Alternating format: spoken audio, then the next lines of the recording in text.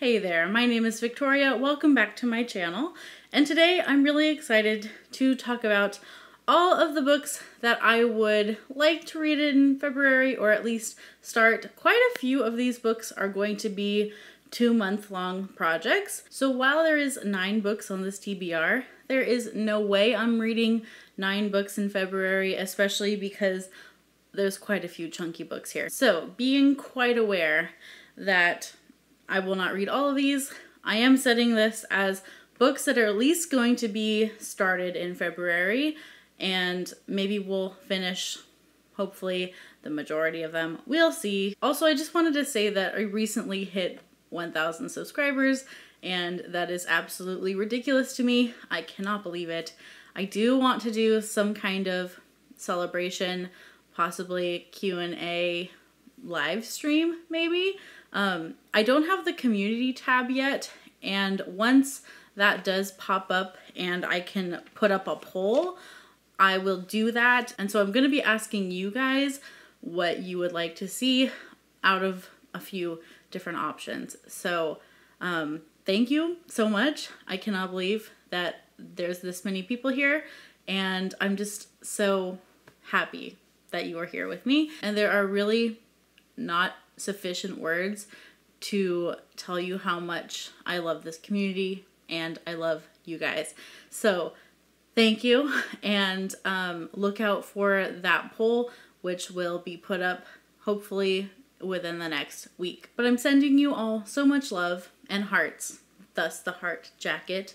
Sending my love to you. Also, Valentine's Day is coming up, but also let this sweater be an outward representation of my undying love for you, dear subscriber. Okay, I'm sorry, that went way too deep. Anyways, moving on. So, I'm gonna start with the buddy reads that I have coming up, which there's a lot of them, guys. It's like most of the TBR. But one of my most anticipated buddy reads so far this year is All the Light We Cannot See by Anthony Doerr. Maybe. Um, this is a historical fiction novel that I am buddy reading with Melissa from Libraries and Labradors, and I have been so excited to get to this. I told Melissa I have been counting down the days until February because I'm really excited to, first of all, read some historical fiction for once in my life. Goodness gracious, I haven't read any in a really long time. And then, second of all, to talk to her about this book and we are going to be doing a live show discussion of this as well on her channel. This is one of her channel buddy reads. She actually has a wonderful Discord system for various books that she would like to invite people to buddy read with her. So if you are interested in buddy reading some things with Melissa, go check out her channel and there is a Discord group that is created by her that has a bunch of different books. You might be interested in one of those books if you're not interested in this one. Melissa's go-to genres are historical fiction and romance, so if that sounds appealing to you, definitely go check out Melissa. I just love her and her channel. She's so adorable and upbeat, and I just really like her videos. This is a World War II novel. I don't know a lot about it. It's a Pulitzer Prize winner, so that's pretty rad. I believe it's a dual perspective book, and we follow someone in France and also someone in Germany. I believe a girl in France who is blind and a boy in Germany who becomes a soldier. And uh, that's all I really know. I have started it. I'm about like 20 pages in, so just barely scratched the surface of it so far. I don't know very much yet. And again, if you would like to read this with us, there will be a live show discussion um, at the end of the month, I think on February 28th. I will link down specific information in the description for you, as well as Melissa's channel and her Discord buddy read group if you would like to go hang out with Melissa and talk to her about some books. The next buddy read slash read along that I have been waiting for and just itching to start is The Brothers Karamazov by Fyodor Dostoevsky. And we are reading this with Christy Luis, Codex Cantina, and Peg from the History Shelf. They are amazing people. They are all wonderful history scholars, literary scholars. Um, they are just the perfect group to read this with, and I'm so lucky that I get to do this. We already had an introductory live stream for this, so I'll link that down below if you would like to watch that. Crime and Punishment became one of my favorite books that I read last year, and I've heard that this one is even better. So I cannot tell you how excited I am to finally crack this baby open. Also, I want to give a shout out to Codex Cantina. They created a before you read video for this, which is phenomenal. So if you're not sure you want to read this yet and um, you're still kind of wibbling and wobbling between the decisions, go watch their video. I think they will convince you. The next book I have here was also on my January TBR, and I didn't start it yet. However, I do want to prioritize this. I don't want this to be a book that I just kind of backburn for the whole month and then realize that I didn't get around to it. So February, this is going to be a high priority book for me, and that is I can't even hold it up. It's really heavy. Washington by Ron Chernow. Um, if I only finish those three physical books, that will probably be enough for February because look at this. This is like Brandon Sanderson size. it's not far off from that actually. It's an 800 page biography and this is part of Ramsey's presidential read along. I heard about his read along and I was just so stoked about it. So February, this is up high on the priorities. Really interested in learning about George Washington and his life and American history because I'm not that well versed in like early American history and what was going on. I feel like there's so much I don't know. There def actually not I don't just feel like there's so much that I don't know. I know there's so much I don't know. And if I do conquer this chonker, conquer this chonker, then this will also be my first nonfiction book of the year, which would be an amazing book to have that spot. So I'm going to put this down because my hand is hurting, legitimately hurting. If there's one more book that I want to finish in February um, as one of my physical reads, it would be The Invisible Life of Addie LaRue by V.E. Schwab. I would like to read this for both Michael Knipp's Patreon buddy read and also Vish's new channel read. Vish from Books with V just started a channel buddy read. She has a Discord as well. I'll try to link all these things down below. Oh my goodness, I'm going to be linking a lot of stuff. but I will link that down below for you. Um, she has a Discord, and this is her first um, buddy read pick for her channel. So I would like to read this because it's for both of their channel buddy reads, and um, I also happen to own it already, so that was lucky for me. But I've never read V.E. Schwab. I feel like she has a lot of really interesting story premises, but I just don't know if I'm gonna mesh with her writing just having not tried it yet. But reading this would help me with my goal of reading some of those book of the month books that are behind me. I'm trying to get caught up a bit um, and not let them pile up. So that would really help me if I was able to get this read in February. The pitch for this book is that Addie LaRue is a girl who people forget about when they see her and then turn away and they like forget that she ever existed. So you could have a conversation with her and then um, go about your day and not remember the conversation at all. And that's like her curse.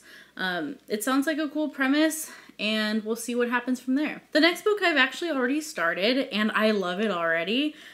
It's a bit of a five star prediction for me, I think, and that's My Lady Jane by Cynthia Hand, Brodi Ashton, and Jodi Meadows. There's three authors. This follows Jane Grey, who um, you would know if you were familiar with Tudor dynasty at all, um, King Henry VIII, and then Prince Edward. And from what I know of history, I'm pretty sure things don't end well for Jane Grey. So I'll be curious to see how they spin this in like a comical way. This book is really funny so far. I'm about two chapters in and it was funny.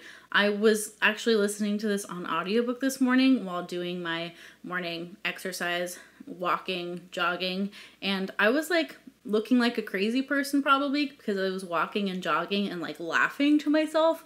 So sorry to all my neighbors who now think that I'm insane, but it's already hilarious. It's my kind of humor.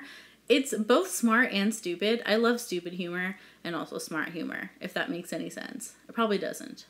Maybe I am insane. And I'm actually buddy reading this with Berna from Berna's Bookish Adventures. I love Berna. She is the sweetest person go check out her channel if you don't know Berna. She'll be linked down below as well. I love Berna. She's the only Turkish booktuber that I know, and she's super cool. So we are buddy reading this together, and I'm also including this as part of Historathon. Forgot to mention that as well. Historathon is happening, and that's hosted by Amanda at the Curly Reader. So a read along, month long read along for historical fiction. Um, I'm excited because All the Light You Cannot See will count for that. So will My Lady Jane. And then I actually have one other book as well that I'm hoping to get to for Historathon. And that seems like a good enough segue to talk about The Library of Legends by Janie Chang. This is another one of my Book of the Month books.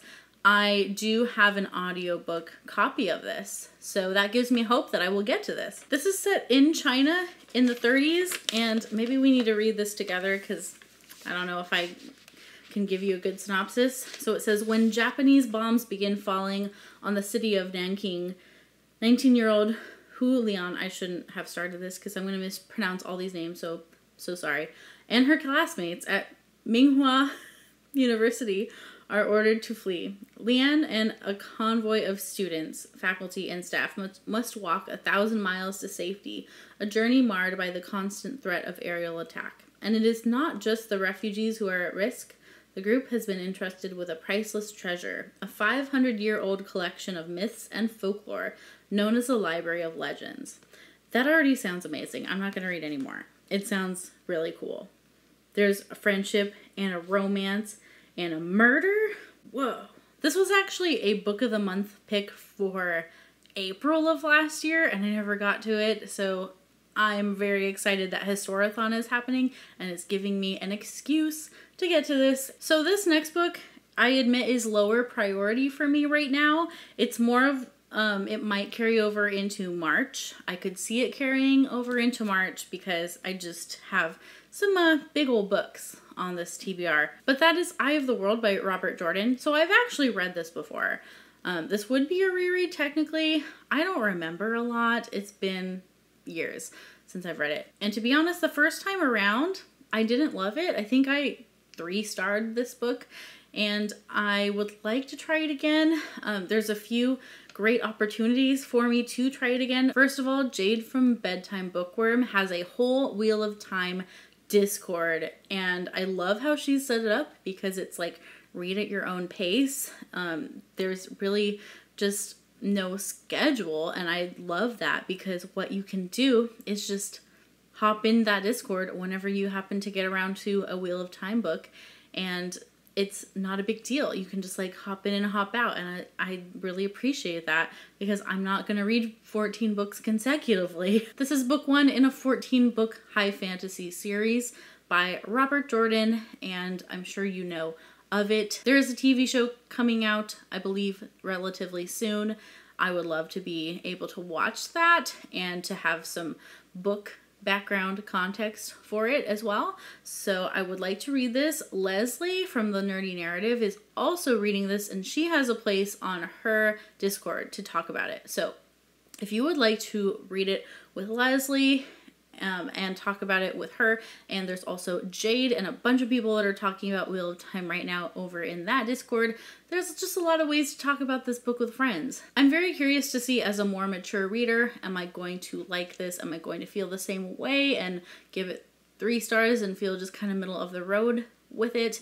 I don't know. I'm trying to be realistic and realizing I'm probably not going to finish this in February, but it would be cool to maybe start it at least in February at some point, and then if it carries into March, that's fine. Speaking of fantasy, if my audiobooks go according to plan, and if I have any time left in the month, which it's a short month, so it's not likely. This book is a big old maybe book for me, but I am interested in reading it this month if possible, and that is Black Sun by Rebecca Roanhorse.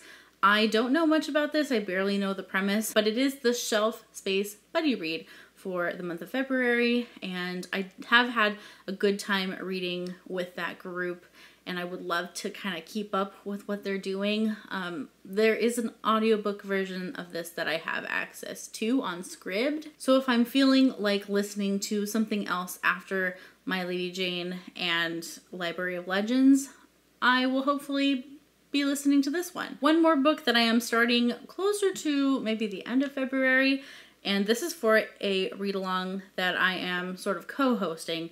This is a Lent read along, so if you are a person who participates in Lent and you would like to do this with us, I will link all the info down below. Again, there's going to be so much info in this description box, it's not even funny. But it's this one. It's some Spurgeon. So if you're interested in reading some Spurgeon with a wonderful group of people, we have my very good friend Christy Luis, of course. I read so much stuff with Christy. Of course, she's involved. Christy and Carla from Raised to Walk, who is a new channel to me, and I'm super excited to get to know her better. And also Alan from the Library of Alexandria. We are doing this Lent read along, so we are starting this on February 17th, which is the first day of Lent. And there is a schedule. I will link that down below. I will link a document with a calendar. Spurgeon, if you don't know, was a minister in the Victorian era, and he has quite a few publications and some of his like sermons also have been written down and preserved and he is just a really amazing speaker and communicator and writer. I personally have really enjoyed the morning and evening devotions, but I've never read this. We are reading John Ploughman's Talks, and we will have a live show discussion on this on April 3rd. Super excited to get into this devotional. Again, if you want to participate, we would love for you to do this with us. It's super low key and spread out over the entirety of Lent. So, hoping that you can join us for this. We'll see how much we can get to. Hopefully, can at least start all of them and then um, hopefully finish some as well. So, I will have a long list of all kinds of links down in the description box.